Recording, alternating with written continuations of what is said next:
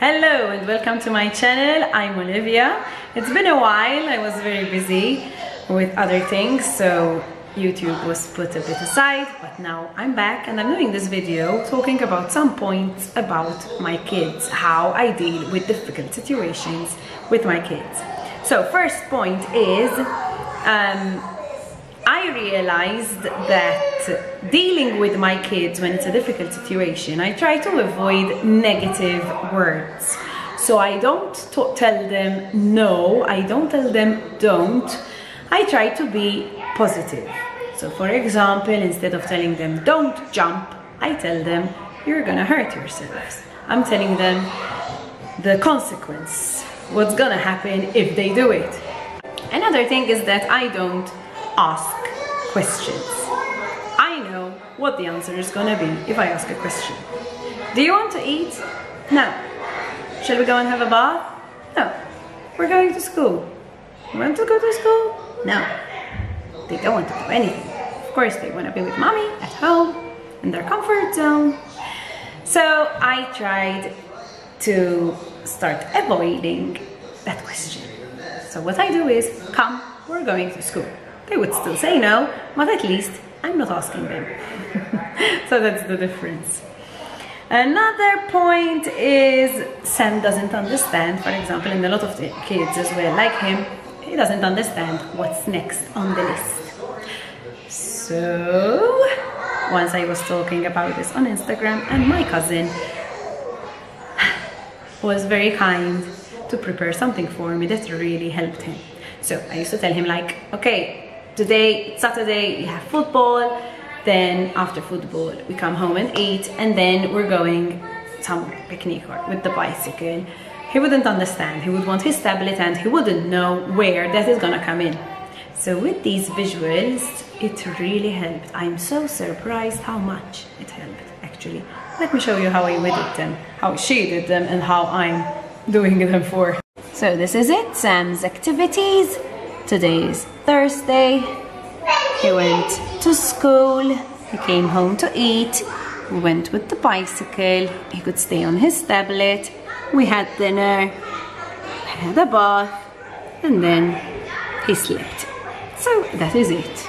And funnily enough, after school, servant tells me, Mommy, it's snacks time. Okay, let's go and see what's wrong. Okay, what happened? What happened? Who bumped his head? With what? With yours? Okay, come and hug each other. Come. Aimee, did you hurt? Aimee, did you hurt? Okay, Sam, give her a kiss and a hug. Maybe it will help. Okay? Mommy will give you a kiss and a hug as well. Okay? Come. come.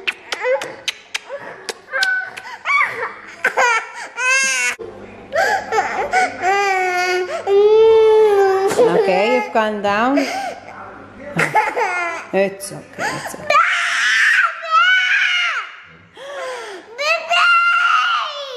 What's wrong? Give me the light.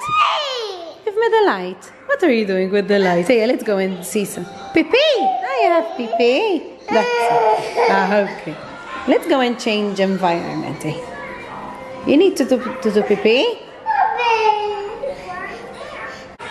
Do I do when my kids want something at that instant? I learned a trick. Till now, it's working. They both got used to it. Like if I'm doing something and Sam comes up and tells me, Mommy, now I want this, I want this. What I'm telling them is countdown. Um, if I'm very busy, I tell them countdown from 20 and I say 20, 19, 18, 17 and I do it slower so they do it slower. If I know that it's like two seconds, it's gonna take me two seconds to help them out, I start from 10. So 10, 9, 8.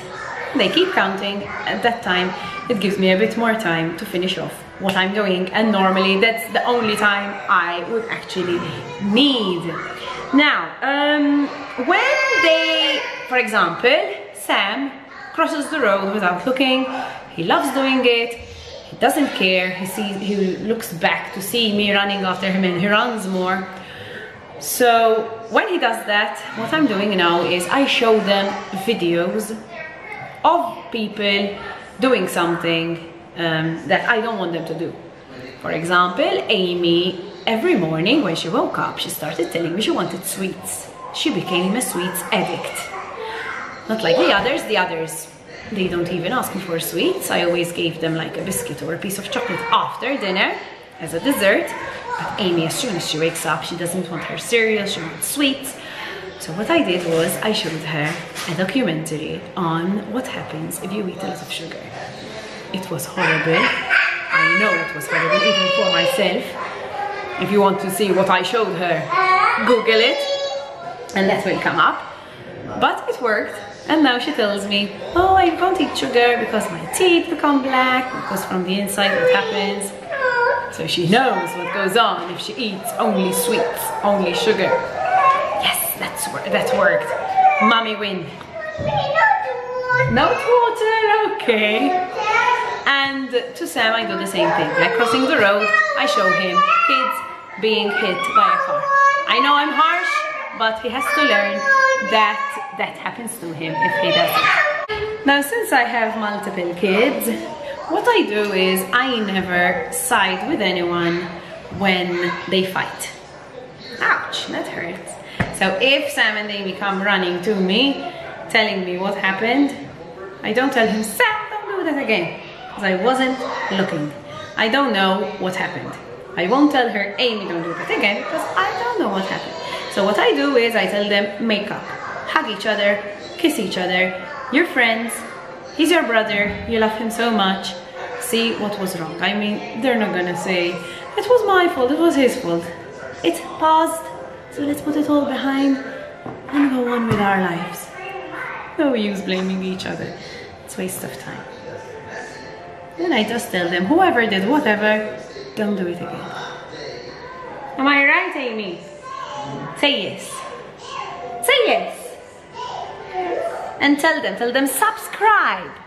No. Yeah.